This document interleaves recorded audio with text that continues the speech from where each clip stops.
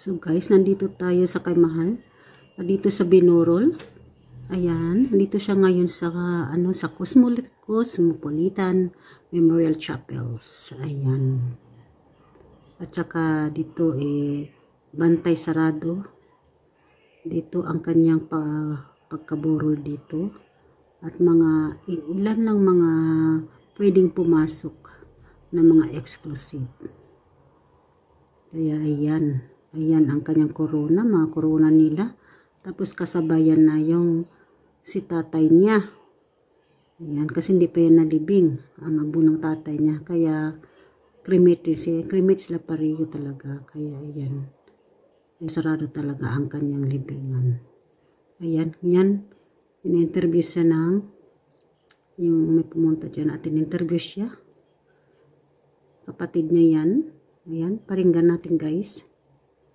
Paringgan natin. Yung Himlay, dito lang sa Quezon City, no? Ito lang, malapit lang din po sa Ah, okay. Maraming salamat yan. naman yung mapagmahal na kapatid. Maalalahanin sa lahat ng bagay. Lalong-lalo na pag sa mga occasions, mga surprises, yan, ala, maalala niya na gusto niya magbigay ng mga surprise, mga ganun. Pag ilan po kayo siya? Ah, ano ko, pangatlo po ako. Oh. Kaya ayan guys, maalalahanin talaga si Mahal. Ayan, mahilig sa mag-surprise kung sino may mga birthday, ganoon. Talagang magandang puso niya. Yan ang mga sinasabi ng kapatid niya. So, paringgan natin continue. Yung uh, tinatagong sikreto yan. Kung gusto niya sabihin sa kapatid namin na isa, kanya-kanya ba na ano na sikreto? Paano kayo ngayon ah, natupok sa bilang ng Yun, nilalakasan lang namin yung loob namin. Mga sa tulong ng mga fans na sumusuporta sa kanya, na walang sawang pagsuporta. At yung kami sa mga kamag-anak namin. Ganon.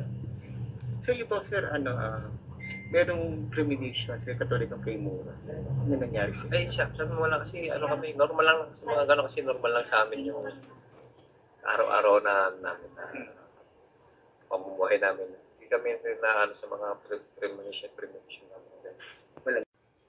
Kaya ayan na. Kaya ayan na guys, oh. Na-prepare na ang kanyang burol.